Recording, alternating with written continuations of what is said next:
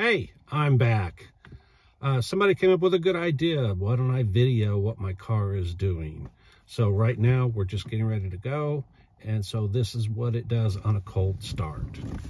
So let me hit emergency brake. And I push the button. You can see it starts up just like it should when it's cold.